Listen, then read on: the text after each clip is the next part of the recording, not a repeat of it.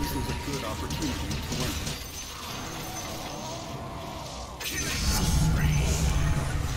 Goodness.